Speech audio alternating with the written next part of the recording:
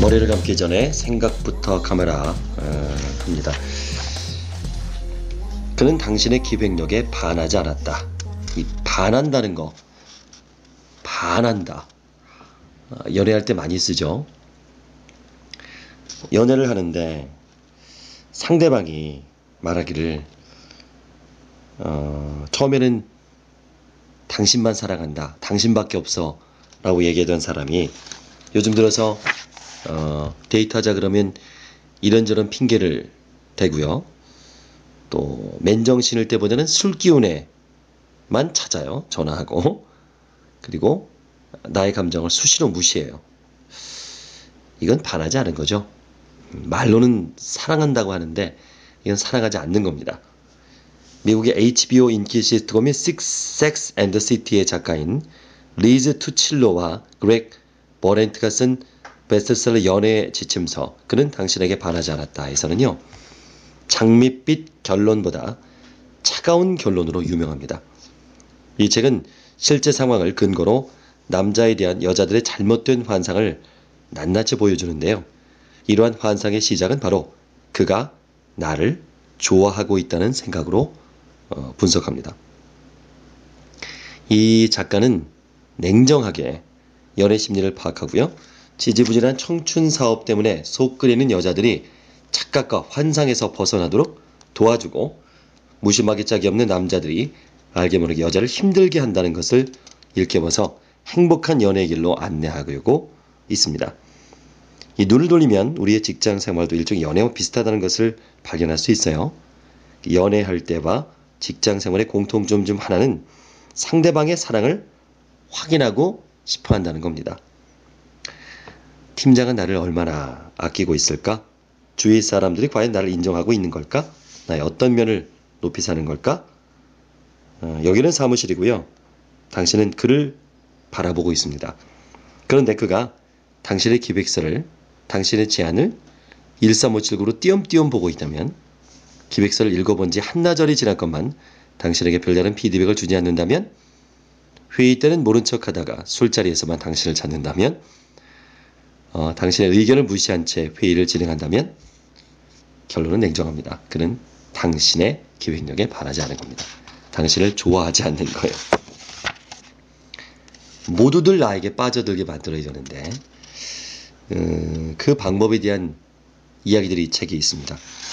음, 사실은 뭐 다 맞는 얘기예요. 제, 제, 저도 책을 보면 다 맞는 얘기인데 항상 고민하는 게 이걸 어떻게 응용할 것인가. 어, 물론 책 안에도 응용법에 대해서 나와 있는데 실천이죠. 음, 저는 이 녹음하는 것도 그래요. 어, 책을 볼 때는 다 실천할 것 같은데 자꾸 잊어먹으니까 이걸 녹음한 걸 자꾸 들어보면서 실천하는 거죠. 음, 그래서 제가 실천할 수 있고 음, 감명 깊었던 것들 위주로 말씀을 드리겠습니다. 음, 좀 넘어가서 자 기획이란 기획에 대한 정의 기획 1. 이를 꾸미어 꾀함 2. 어떤 대상에 대해 그 대상의 변화를 가져올 목적을 확인하고 그 목적을 성취하는 데 가장 적합한 행동을 설계하는 것을 의미한다. 이에 대해 계획은 기획을 통해 산출된 결과를 의미한다. 주어진 문제를 해결하기 위해 창의적인 방법을 구상하고 이에 따른 정보를 수집, 구체화하고 논리를 전개해 상대방을 설득하고 목표를 이루어가는 프로세스다. 기획과 기회는 기억 하나 차이다. 맞네요. 음, 그 치즈와 기획의 공통점이라는 글이 참 그 기억에 남아요. 브리싱, 브리상, 캉탈, 까망베드, 공테, 리바로, Port-Salut, Maroilles, Munster, Brie de Meaux, Tomme Savoie, Sainte-Maure, 크로랭, Crottin de Chavignol 이 불어를 잘 몰라서 발음이 엉망이네요. 프랑스는 치즈의 나라라고 해도 걸맞을 만큼 아주 엄청난 종류의 치즈가 있죠. 음, 1년에 그 프랑스 사람 한 명이 소비하는 치즈가 무려 15kg이나 된다 그래요. 그 프랑스의 드골 전 대통령은 이런 말을 남겼답니다. 265가지의 치즈가 있는 나라를 어떻게 다스려야 한단 말인가? 기획도 그렇죠. 기획, 기한, 컨셉, 계획, 창의성, 어, 문제 해결, 정보, 비전, 아이디어, 실행, 설득, 구체화, 목표, 논리, 구조 이런 것들을 잘 버무리는 게 기획이잖아요. 프레젠테이션도 그래요. 어, 기획이나 전 프레젠테이션 저 이 책을 보면서 프레젠테이션과 너무 비슷하다. 어차피 프레젠테이션은 좋은 기획에서 출발을 하니까 아무리 좋은 기획이 있어도 프레젠테이션을 또 잘해야 되잖아요. 어, 프레젠테이션 안에 어, 기획이라는 것이 있는 거겠죠. 그래서 저는 좀 크게 봐요. 아, 프레젠테이션도 참 치즈처럼 여러 가지구나. 이 정의만 해도 100가지가 넘는 기획을 어떻게 한마디로 어, 이야기할까요? 그렇다면 과연 기획에는 무엇인가요? 식탁 위의 치즈와 책상 위의 기획을 비교해서 공통점을 찾아보도록 하겠습니다. 자, 종류는 다양하지만 통칭해서 무슨 치즈라 부른다. 종류는 다양하지만 통칭해서 무슨 기획이라고 부른다. 웬만한 만찬에 빠질 수 없는 게 치즈다.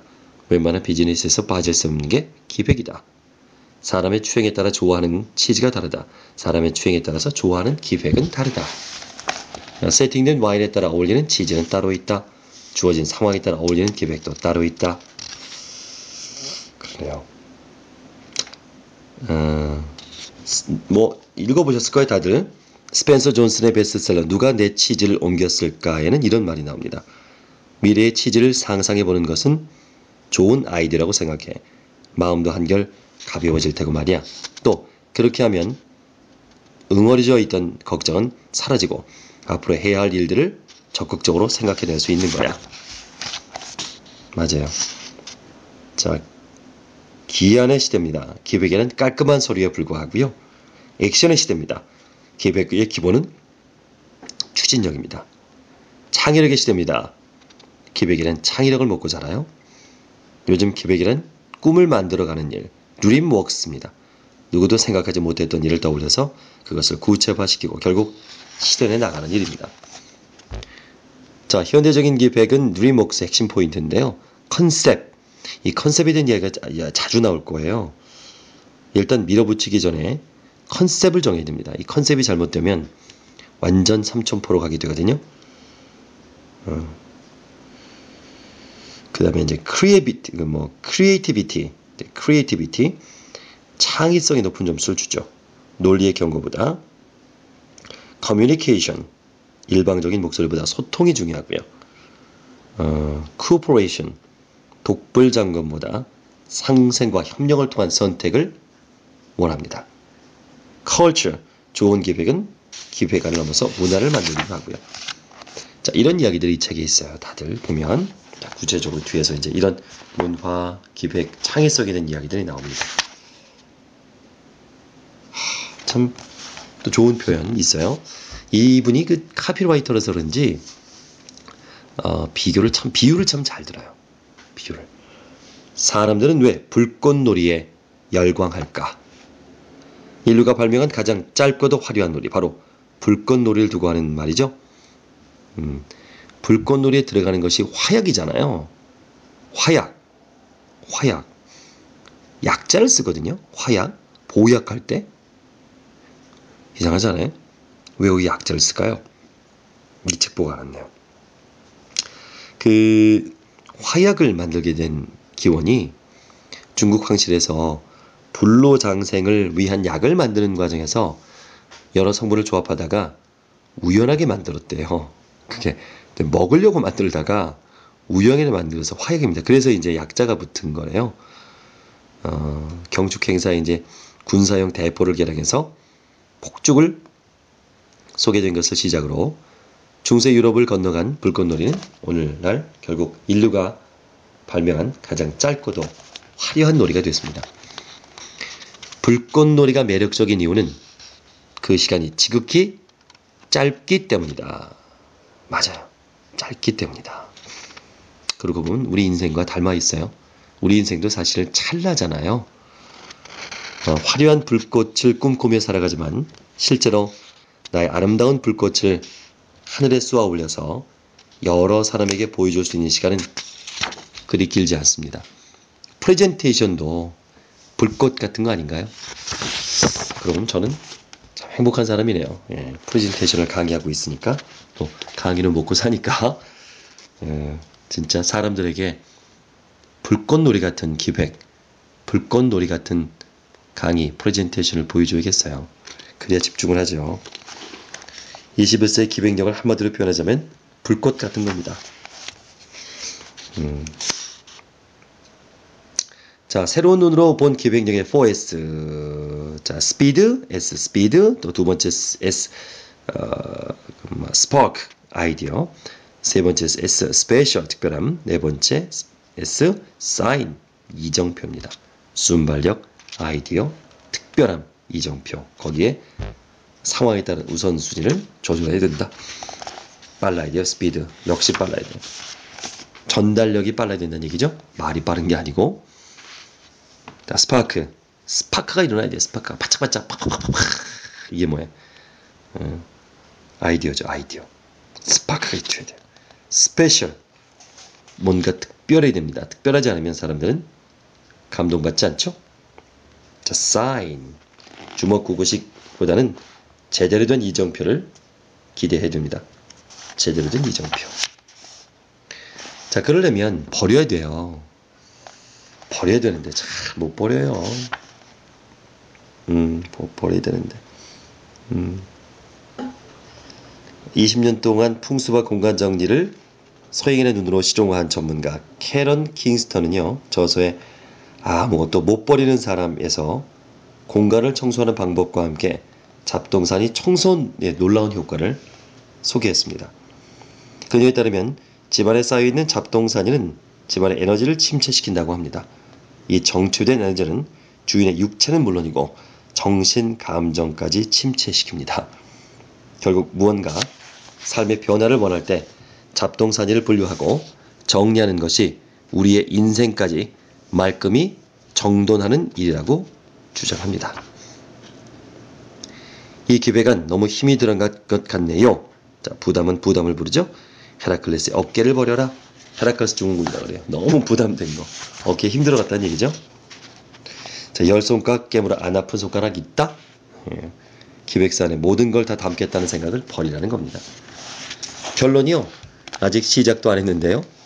유난히 서론이 긴 타입. 논리의 재단을 버리십시오. 만약 극장에서 예고편만 30분을 튼다면 어휴 끔찍합니다. 어. 유난히 서론이 긴 타입이 있어요. 굉장히 논리적이라고 생각하거나 유머 감각이 2% 부족한 스타일이 주로 많습니다. 음, 유머 감각이 있어야 돼요. 어린 왕자의 생텍쥐브리가 남긴 흥미로운 명언이 적혀 있습니다. 어린 왕자에는요.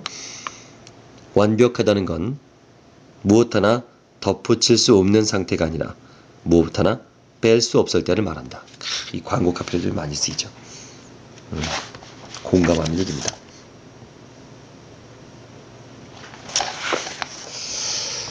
어, 조, 좋은 카피 문구들 소개해 드릴까요? 음, 무언가 시작하고 싶을 때 좋은 말들. 시작어 사전. 아마추어.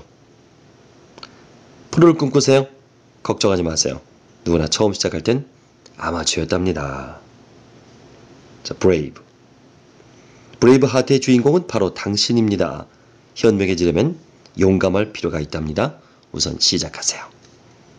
체인지. 시작은 변화라는 옷을 입고 다니죠. 모든 변화는 시선을 받기 마련입니다. 특히 시작할 땐 더욱 그렇답니다. Just do it. 행동이 없는 시작은 알을 깨지 못합니다. 시작의 또 다른 이름은 끝이다. 중요한 건 당신이 어떻게 시작했는가가 아니라 어떻게 끝내는가라는 생각입니다. 멋진 얘기잖아요.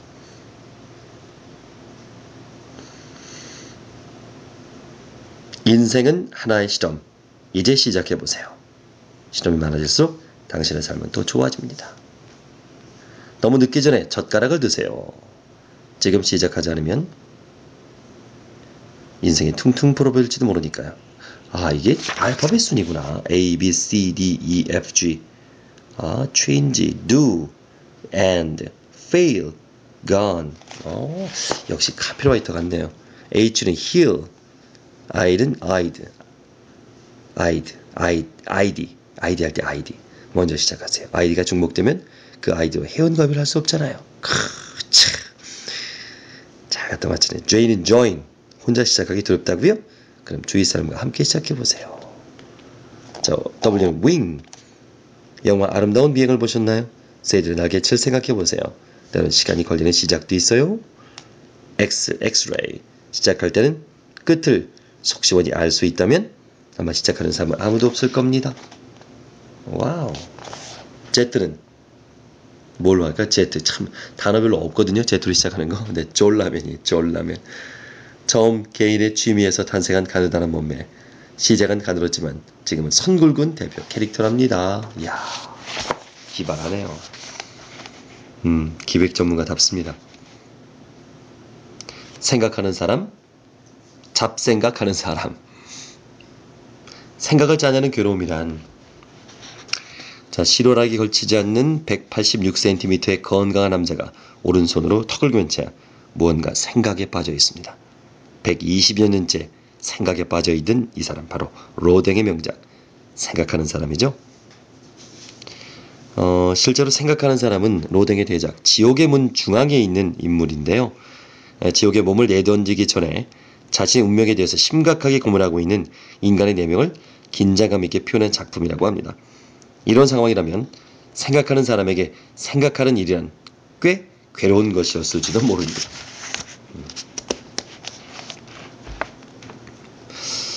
우선 이 생각하는 사람과 잡생각하는 사람을 좀 구분해 볼까요?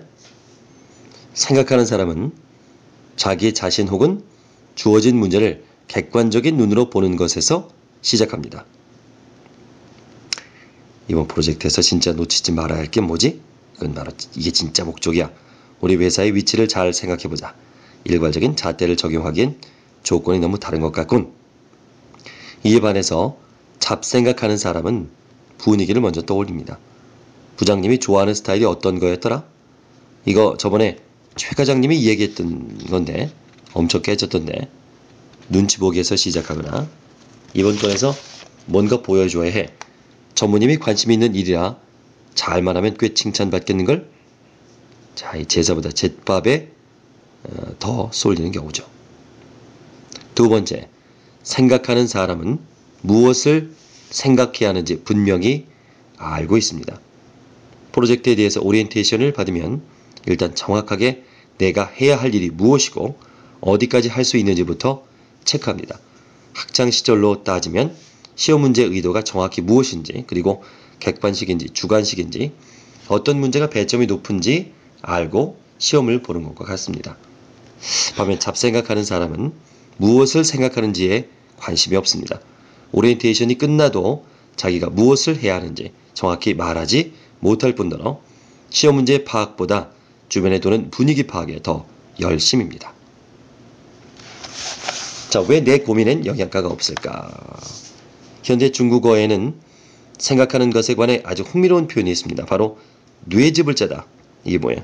고진감래. 자, 그죠? 고진감래. 대단하죠? 뇌집을 짠다는 얘기잖아요. 그야말로 뇌집을 짜낼 정도로 심사숙고한다는 의미죠. 동서양을 막론하고 생각을 짜내는 일은 분명 어렵고 괴로운 일임이 분명합니다. 생각을 짜낸다는 거 정말 어렵죠. 자, 이번 역은 기획역. 이번 역은 기획역. 고정관념은 두고 내리십시오. 기획역, 기획역. 자, 우선 역 얘기를 했으니까 기찻길 얘기를 좀 해볼까요? 어, 기차 레일과 레일 사이의 거리는 얼마나 될까요? 현대 기차의 두 레일은 1435mm만큼 떨어져 있습니다. 근데 1500mm도 아니고 1450mm도 아니고 1435mm에 당시 측량 기사가 개인적으로 좋아했던 숫자도 아닐 텐데 아무튼 이 중요한 수치치고는 뭔가 딱 떨어지지 않습니다. 서양식으로 계산하면 더 복잡해져요. 4피트하고 8과 2분의 1인치입니다. 이유를 아니면 이래요. 고대 로마의 전차는 말 두 마리를 메어서 끌었고요. 그래서 로마인들은 도로를 닦을 때 말 두 마리가 나란히 달릴 수 있는 거리를 그 폭으로 정했는데요. 그 도로의 폭이 이후 마차 바퀴 사이의 거리를 결정짓게 됐습니다. 그리고 오랜 시간이 흐른 후에 1825년 영국에서 처음 철도를 부설할 때도 마차를 말드는 도구와 연장을 그대로 사용했기 때문에 오늘날의 기차 솔로폭은 1435mm로 정해졌다는 겁니다. 이 원래 그런 거죠. 음, 원래 그런 거예요. 근데 음, 지금은 좀 많이 바뀌었어요. 각국 사정에 따라 다른 궤적을 씁니다. 러시아는 1524mm 광궤죠. 일본은 1067mm의 협계를 씁니다. 우리나라는요. 네, 모두 표준궤관을 사용합니다. 1435mm. 음, 여기서 엉뚱한 질문 하나. 세계 표준도 좋지만 우리도 1435mm만큼 정해진 방식대로만 살아가는 건 아닐까요? 이번에 내릴 역은 기획력. 내릴 준비를 서둘러 볼까요? 원래 그렇게 라는 말은 참 힘이 셉니다. 선배님, 저 캐비넷의 오래된 파일은 어떻게 정리할까요? 어, 그냥 놔둬. 원래 그렇게 있었어. 대리님, 주간 업무 회의 양식이 실제 업무 내용을 적기에는 적절하지 않은데 제가 새로 한번 만들어 볼까요? 아, 뭐 그런 일 하려고 그래. 내가 신입 돌했어. 원래 그렇게 했어. 자, 뭐든지 원래 그렇게 했어. 자, 원래 그렇게 했어. 원래라는 게 어디 있을까요? 원래라는 건 없습니다. 직장인의 유행에 따른 고정관념을 보면요. 자, 첫 번째 열린 마음을 가져야 된다. 두 번째 발상의 전환을 해야 된다. 세 번째 뒤집어 거꾸로 생각하는 역발상을 해야 된다. 이게 말처럼 쉽습니까? 뒤집는다는 게 음. 사람들에게는 예정관념이 있어요. 원래 그렇게 라며 모든 것은 원래 그렇게 예정돼 있고 예정돼 있었다고 인정하는 타입이고요. 자 부정관념이 있습니다. 그게 되겠어? 라면서 모든 것을 부정하는 타입. 자 수정관념이 있습니다. 그땐 그랬지만 이라며 손바닥 뒤집듯이 생각을 자주 뒤집는 스타일이죠. 귀가 얇은 사람들이에요. 애정관념이 있어요. 미워도 다시 한번 내는 생각을 가지고 있는 타입입니다. 좋게 말해서 온고지신이지 나쁘게 말하면 과거에 집착하는 유형입니다. 자 무정관념입니다. 무조건 바꿔 기존의 것을 무조건 부정하고 바꿔버리자는 타입 이것도 문제가 있죠. 어, 음, 이런 이런 것들은 버려야 됩니다. 머리를 감기 전에 생각부터 감아라 아, 함께합니다. 지금 좀 잡음이 들릴 거예요. 아, 그 이유는 아, 이게 차 아닙니다. 이동하면서 지금 녹음하고 있어요. 시간이 없어서 이해해 주십시오. 어, 굳이 굳어버린 생각과 이별할 때 필요한 말들, 고정관념, 고별어 사전 역시 이것도 A부터 Z까지 있는데 참 이거 한번 해봐도 좋겠어요. 우리도 나름대로 자기 나름대로의 하는 일에 사전을 만드는 거죠. 사전 갖다 놓고 뒤지면서 이것도 창의력을 훈련하는 방법 가운데 하나입니다. 저도 쇼호스트 A부터 Z까지 예전에 썼던 기억이 나는데 어디다 뒀는지 모르겠어요. 진짜 그때 하루 종일 고민해서 썼는데 여기 고정어 어 그러니까 고정관념에 대한 고별어 사전인데 다 할 필요 없이 D를 보니까 좀 좋네요. Delete, delete. 지금까지 해온 게 하나도 마음에 들지 않는다고요? 무조건 지우고 바꿔야 한다는 고정관념도 고정관념일지 모릅니다. 그쵸? 이는요, ears. 귀가 얇다라는 표현 아시죠? 자신의 생각만 고집하는 것도 고정관념이지만 남의 말만 너무 따르는 것도 피곤한 고정관념일 수 있습니다. H, habit. 술, 담배보다 끊기 어려운 게 있어요. 고정관념만큼 바꾸기 힘든 습관도 없다는 거 아시죠? 아, 맞아요. 그 다음에 N 들어갑니다. 누드. 누드. 누드는 뭐가 떠오르세요? 누드. 고정관념의 누드 차이는요. 인간의 벗은 몸이 아름다운 이유는 주머니가 없기 때문이라죠. 지금 구석구석 가지고 있었던 고정관념을 꺼내보세요. 이번에는 P. 어, 포마토. 포마토 아세요? 포마토? 열매는 토마토인데 뿌리는 감자인 거. 한 번에 두 가지를 얻을 수 있는 포마토. 아, 아이디어의 시작은 이미 알고 있는 것의 조합일 수도 있습니다. 맞습니다. 자, Q, question. 자, 고정관념 탈출의 기본은 질문이죠. 왜 그래야만 될까라는 질문이 1단계. 왜 이건 안 될까라는 질문이 2단계입니다. 아, V, vegetable. 늘 고기만 드신다고요? 고정관념은 늘 한 가지 생각만 먹는답니다. 이젠 야채를 골고루 드세요. 어, 맞아요. 참 노력한 흔적이 보이는 책입니다. 자, 순발력이 있어야겠죠. 네, 그 기획을 잘하고 또 직장 생활을 잘하려면 어, 타고난 순발력은 없어요. 흔히 순발력 있는 사람을 칭찬할 때 타고난 거 아니야? 라고 칭찬할지 모르겠는데 타고난 건 없습니다.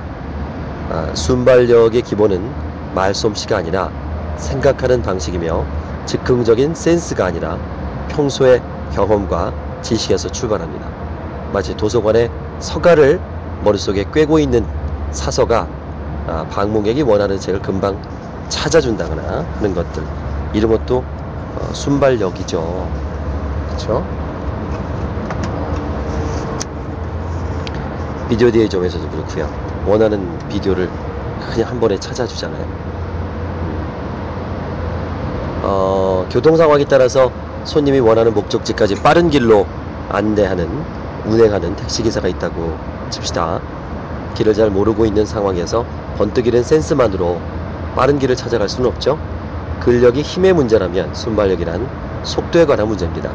자신은 평소 알고 있던 지식과 정보를 모아서 결정적인 순간에 빠른 속도로 무언가를 뽑아낼 때 순발력은 가공할 만한 파괴력을 누리게 되는 겁니다.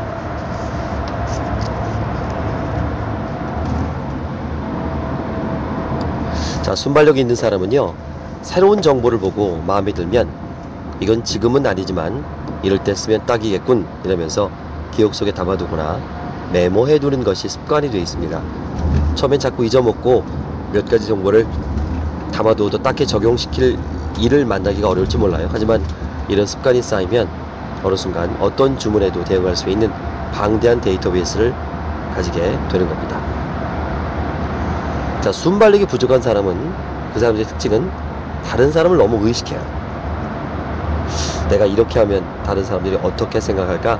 라는 생각을 버릴 수 있는 용기가 필요합니다. 순발력의 파워는 나 자신이 남의 시선으로부터 자유로워질 때 나오는 법입니다. 흔히 보면 직장에서 팀장이 급할 때 찾는 사람이 있죠? 꼭 급할 때는 그 사람만 찾아요. 어떤 사람에 대해서 순발력이 있다고 칭찬하는 이유 중에 하나는 말귀를 잘 알아듣기 때문에 그렇습니다. 순발력 없는 사람들 눈치가 없어요, 눈치가. 말귀를 못 알아들으니까. 순발력의 기본은 어디에서 시작해야 할지, 그리고 상대방이 진정으로 원하는 게 무엇인지를 정확히 아는 데서 출발합니다. 흔히 순발력이라고 하면 짧은 시간에 새로운 아이디어를 많이 내는 것이라고 생각하는데요. 하지만 실제로 보면 순발력의 숨겨진 능력은 조합할 줄 아는 능력입니다. 당신의 지구상에 없었던 새로운 아이디어를 만들어 내기 위해서 생각에 빠져 있는 순간 누군가는 기존에 나와 있던 아이디어를 보태거나 빼는 방식으로 새로운 아이디어를 만들어내고 있는지도 모릅니다. 누가 더 빠를 것인가는 자명한 문제죠. 조합할 줄 아는 눈을 가지는 것도 순발력의 기본입니다. 그 플라시보 효과라고 있잖아요. 다 아시죠? 그 위약이라 그러죠. 위약. 환자에게 밀가루를 주면서 약이라고 설명하면 실제 약과 같은 효과를 내는 거예요. 이게 사람에게도 적용이 됩니다. 어, 이 플라시보라는 뜻이 라틴어로 만족시키는 또는 즐겁게 하다라는 뜻인데요. 그러니까 자꾸 그렇게 자기 자신에게 플라시보 효과를 주는 거죠. 어, 나는 아이디어가 넘치는, 넘치는 사람이야. 어, 나는 참 뭔가 잘 되는 사람이야. 라고 자꾸 자기 자신에게 플라시보 효과를 주고 또 주변 사람들한테도 그렇게 주는 거죠. 왠지 그 사람이 내는 아이디어는 좋은 것 같다는 생각. 그 사람이 참여하면 뭔가 잘 될 것 같다는 기대. 바로 이것이 사람과 사람 사이의 플라시보 효과입니다. 반대인 경우가 있어요. 그걸 이제 노시보 효과라 그러는데 노시보 효과. 당신을 해칠 것이다. 뭐 라는 그 라틴어의 어원에서 비롯된, 거, 비롯된 겁니다. 아, 자, 이 말만 들어도 막 좋지 않을까 생각이 들죠? 당신을 해칠 것이다. 어, 누군가에 대해서 이렇게 생각하는 거예요. 뭐 그 사람 뭐 별로 아이디어 있겠어? 그 사람이 하는 게 뭐 다 그렇지 뭐 라고 생각한다면 실제로 그 사람이 낸 아이디어가 아무리 좋다고 해도 다른 사람들은 그렇게 생각하지 않다는 거죠. 그리고 나서 어쩌다가 잘하면 한번 반짝인 거겠지 라고 생각하게 하는 겁니다. 어, 한번 굳어지면 여간세 회복될 수 없는 게 기대감이죠. 어떻게 하면 기대감을 주는 사람이 될 수 있을까요? 음, 사실 다 아는 얘기입니다. 지금 뭐 이 책에 써 있는 얘기나 지금 제가 읽어, 읽어도 다 아는 얘기예요. 근데 과연 그렇게 하는가라는 거죠. 다시 한번 어, 아는 얘기를 실천해 보는 거 어떨까요? 해지기 전에 한 걸음만 더 걸어라. 옛날에 만화를 좋아하던 소년이 있었습니다. 소년은 만화계 입문해서 어, 문화생 생활을 시작했어요. 하지만 이 만화계에는 그보다 훨씬 만화를 잘 그리는 사람이 많았습니다. 어느 날 소년은 자신이 그저 수많은 문화생 중에 한 명에 불과할지도 모른다고 생각했습니다. 그때부터 소년에게 특별한 일과가 생겼어요. 잠자리에 들기 전에 꼭 그림 한 장을 더 그려보는 일이었습니다. 그리고 10년 후 소년은 드디어 꿈을 이뤘습니다. 이 소년이 바로 만화가 이현세입니다. 그가 얘기하는 숨겨둔 성공 비결 중 하나예요. 시키는 것만 하는 사람, 시키는 거에 하나 더 하는 사람. 누구랑 일하고 싶으시겠어요? 당연한데 어, 시키는 것만 하죠. 정교한 순발력이 기대감을 배가시킨다. 자, 옛날만 해도 럭비공 같은 인재상이 많이 거론됐습니다. 어디로 튈지 모르는 럭비공 같이 자유분방한 사고를 지닌 신세대를 좋은 인재로 치던 시대가 있었어요. 지금은 아닙니다. 문제는요, 어디로 너무 튈지 모른다는 거예요. 잘 될 수도 있지만, 안 될 수도 있죠. 독창적인 것은 인정해주지만, 아, 주어진 시간은 한정돼 있고, 필수 조건 또한 정해져 있는데, 현실과 너무 동떨어진 아이디어를 낸 거나, 너무 늦게 아이디어가 나오면 소용없죠. 그럴 때마다 탁구공이 떠오릅니다. 이 탁구공과 럭비공은 크기는 물론 모양새도 다르죠. 그런데 순발력이라는 관점에서 탁구공을 럭비공과 비교해보면 상당히 재밌는 결론을 얻을 수 있습니다. 상대적으로 넓은 그라운드에서 날아다니는 럭비공과 달리요. 탁구공은 아주 조그만 테이블을 해서 해야 돼요. 거기서 밖으로 나가면 아무 쓸모가 없습니다. 상대가 원하는 답에 더욱 가깝게 정교하게 맞춘다는 것 그리고 반응 속도는 럭비공에 비해서 무지하게 빠르죠. 그래서 탁구공 같은 인재가 돼야 된다.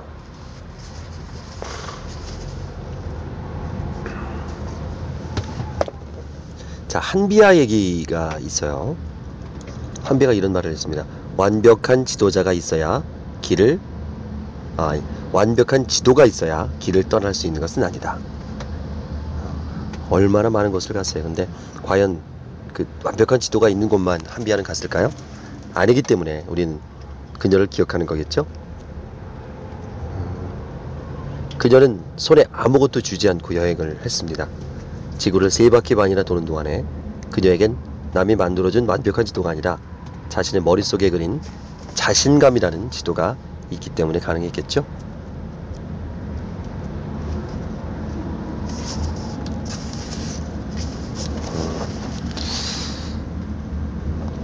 정답을 한 번에 맞추기는 어렵다. 정답보다 2% 시작하라. right이라고 묻지 말고 if라고 상상하라. 괜찮은 것 같아요, 이 말. 생각의 발동이 늦게 걸리는 대부분의 이유는 이게 맞을까?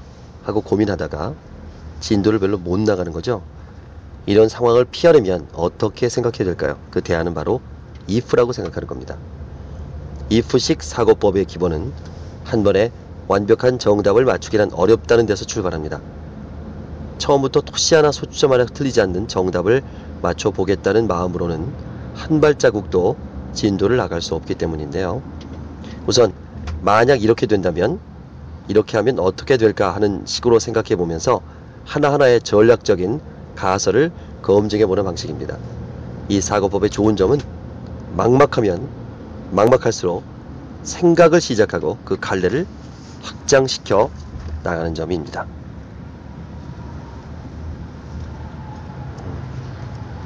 자, 쭉 넘어가서 자, 인생의 키워드 게임. 저는 이 글이 참 가슴이 와닿았고 요건 제가 꼭 실천해 볼 겁니다. 이 키워드 게임. 음, 영화배우 이범수가 이런 말을 했어요. 내 연기의 키워드는 인간이고 휴머니즘이다.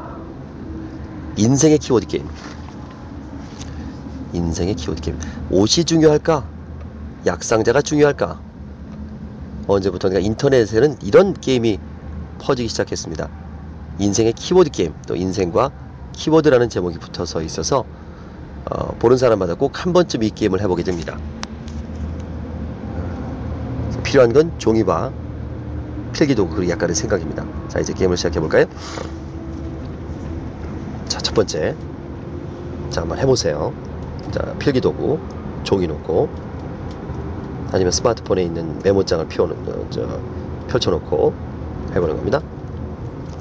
만약 무인도에 가게 된다면 꼭 가지고 가야 할 품목 16개를 생각나는 순서대로 종이에 적은 다음에 번호를 매깁니다. 흥미로운 건 실제로 해보면 가지고 가야 할 품목 16개가 선뜻 떠오르지 않는 경우가 많아서 어, 참가자들이 당황합니다. 지금 16개를 써보세요. 자, 다 적었으면, 자, 다 적었으면 1번과 2번, 또 3번과 4번, 5번과 6번 씩으로 두 개씩 짝을 짓습니다. 그리고 짝지어진 두 가지의 공통점 혹은 연상되는 단어나 문장을 생각해 적습니다. 예를 들어서 옷과 침낭이라면 이 둘의 공통점은 뭐죠? 옷과 침낭. 편안하다. 편안하다. 이렇게 하죠.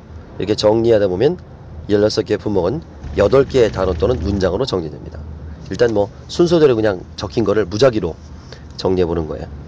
그러면 8개 단어가 되겠죠? 문장이 되거나. 자, 정리된 8개를 차례대로 다시 두 개씩 짝지어서 4개의 단어 또는 문장으로 이것을 다시 두 개로 다시 한 개로 만듭니다. 어려울 것 같지만 막상 해보면 어렵지 않아요. 마지막에 나온 한 개의 단어 또는 문장이 당신이 마음속에 담아두고 있는 인생의 키워드입니다. 드디어 마지막 단계 뭐 진실, 꿈, 낭만. 자, 어차피 여러분이 생각한 16개의 품목에는 이런 것들이 다 포함된 거잖아요. 그 나의 어떤 그 인생의 키워드인 거죠. 그럼 몇 개의 키워드를 알고 계십니까? 음, 개그 콘서트, 개인 파산, 광고, 금연, 꽃미남, 누드, 대안교육, 동거, 디지털 카메라, 로또, 마니아, 마라톤, 중간중간 인터넷 소설, 자원봉사, 저작권, 뭐 픽션, pet 비즈니스, pet 비즈니스, 포르노그라피, 포털, 표절, 프로슈머 가나다 순으로 이게 써본 건데 이 단어들은 21세기 문화 키워드 100 한국 출판 마케팅 연구소에서 소개한 대한민국 문화를 대표하는 100개의 키워드 중 일부입니다. 키워드. 키워드가 뭐야? 참 중요하잖아요. 키워드가 뭐야? 기획력을 키워주는 키워드 키우기. 우리 흔히 기획력 있어 보이는 사람에 대해서 보통 이렇게 말하고 합니다. 어떻게 그런 말을, 어우, 어떻게 그런 말을 할 수 있어요? 어쩌면 그렇게 말을 잘해요? 어떻게 그런 말을 뽑아낼 수 있어요? 그런데 찬찬히 뜯어보면 이런 감탄은 키워드와 관련되어 있습니다. 기획력 있어 보이는 사람은 대부분 키워드를 잘 꿰고 있는 사람인 경우가 많은 거죠.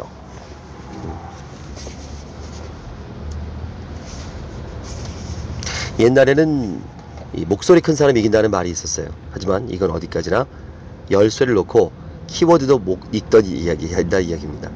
잘 찾은 키워드 하나, 잘 뽑아낸 키워드 하나가 목소리 큰 사람을 이기는 게 요즘 키워드 시대죠.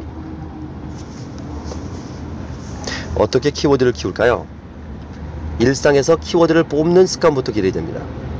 또 키워드를 모아주는 폴더를 키우는 거예요. 또 조합할 줄 아는 눈을 키워야 됩니다. 자, 이 책에서 정말 공감하는 부분, 어, 나중에 강의할 때도 좀 써먹고 싶은 부분이 있어요. 어, 실패는 뭐 성공의 어머니다, 뭐 어쩌고 뭐 이런 얘기 많죠. 공감 잘 안 되시잖아요. 어, 근데 미국의 미시간주의 앤아버에 가보면 아주 특별한 박물관이 있어요. 실패 박물관.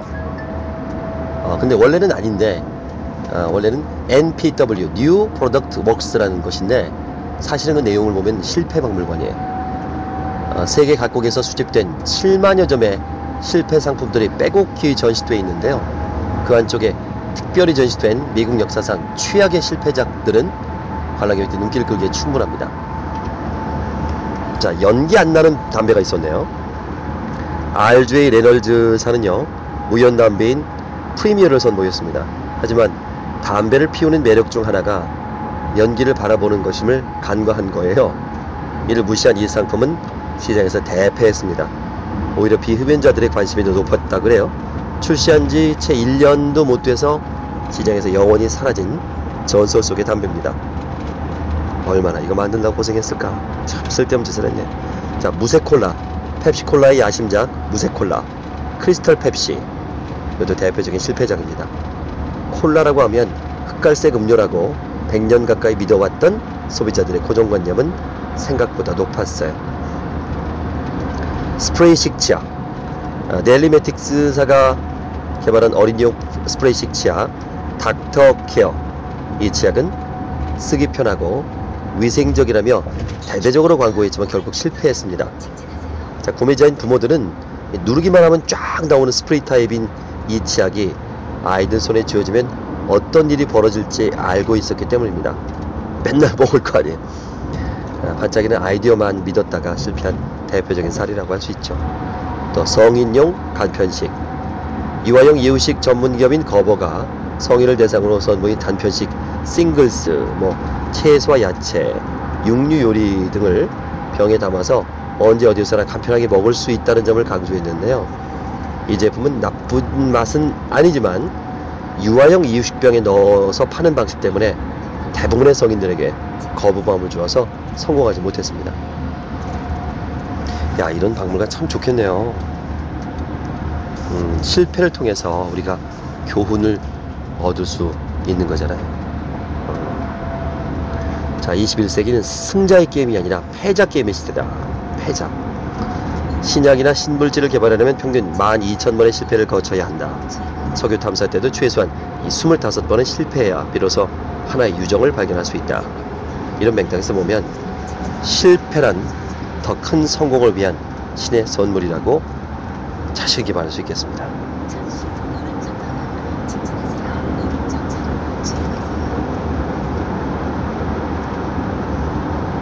자, 문화와 감성 시대에서 살아남기라는 챕터 5로 넘어갑니다. 어, 인문학이 중요한 시대죠. 1920년에 미국 로스앤젤레스의 UCLA 대학의 강의실에서는요, 야간 학부의 해부학 수업이 한창입니다. 그런데 이 수업에는 유난히 눈길을 끄는 학생이 있었어요. 크지 않은 키에 이탈리아 억양이 또렷한 이 학생은 모두가 짚고 넘어갔다고 생각하는 부분에 대해서도 계속해서 교수에게 질문을 했습니다. 이 지친 거야 이제 교수가 그 집요함 때문에. 아니 자네는 왜 그렇게 뼈에 관심이 많다? 학생은 이렇게 대답했습니다. 저는 구두 만드는 사람인데요. 사람들의 발에 무척 관심이 많거든요. 교수는 어이가 없다는 듯이 말했어요. 저는 여기는 대학교 강의실이라네. 발이 아니라 머리를 써야 하는 곳이지. 한바탕 웃음바다가 됐어요. 어, 학생들의 얼굴은 화끈거렸지만 학생의 얼굴은 화끈거렸지만 그는 수업을 포기하지 않았습니다. 얼마 후에 교수를 비롯한 모든 수강생은 이 학생의 진가를 알아보기 시작했습니다. 모두들 이 학생이 만드는 구두를 가지고 싶어 했기 때문입니다. 그 학생 이름은 바로 살바토레 페라가모입니다. 세계적인 명품 패션 브랜드인 페라가모를 만든 그 주인공이에요. 그는 이탈리아의 모니토라는 시골 마을에서 가난한 농부의 아들로 태어나서 구두 점 연습공 생활을 시작으로 미국에 건너가서 구두 하나로 세계 정상에 우뚝 선 사람입니다. 이제 가난 때문에 배움의 기회를 갖지 못했던 그는 돈을 좀 버니까 왜냐면 헐리우드에서 구두 가게라는 데 너무 엄청 그 인기가 많았거든요. 어, 그래서 더 잘 만들고 싶어서 영어 공부에 매달렸고 그 강의를 들을 정도로 영어 실력이 좋아지자 대학의 야간 학부에 등록했고요. 우선 수강 신청한 과목이 해부학이었습니다. 그들의 단골 그의 단골 고객이 대부분 헐리우드 영화 배우였대요. 카메라 앞에서 장시간 시달리는 배우들의 발을 보고 그런 착용감이 뛰어난 구두의 필요성에 대해서 관심이 있었던 겁니다. 그는 해부학 수업을 통해서 사람이 똑바로 서 있으면 체중이 2인치 정도의 면적에 불과한 발에 중심이 쏠린다는 사실을 알게 됐고요. 결국 구두 바닥에 장심을 박아서 발바닥에 자유롭게 움직일 수 있는 공간을 처음으로 만들어서 구두의 역사를 바꿨습니다. 구두 하나로 세계 정상에 선 그에게 발에 관한 여러 가지 교양과 지식은 그야말로 든든한 베이스 캠프가 돼준 거죠. 이제 그의 자서전 꿈을 꾸는 구두장이라는 책에 있는 내용이에요. 어, 의사 외과 의사 페라가버라고 해둘 정도로 의학 서적을 방불케 하는 발에 관한 지식들로 가득 차 있습니다. 그 책을 보면 발이고 신발이라는 철학을 평성 실체오는 그는 어, 자서전에서 해부학 수업을 배운 후에 소감을 이렇게 전했습니다. 나는 나의 디자인 감각이나 스타일 혹은 솜씨가 아니라 내가 만든 구두를 신은 수백만 명의 고객이 느끼는 발의 편안함에서 행복을 발견했다. 그가 없었다면 우리는 아직도 혹시 80년 전 사람들처럼 조금만 걸어도 티눈이 생기고 금방 피곤해지는 구두를 신고 있을지도 모르겠습니다.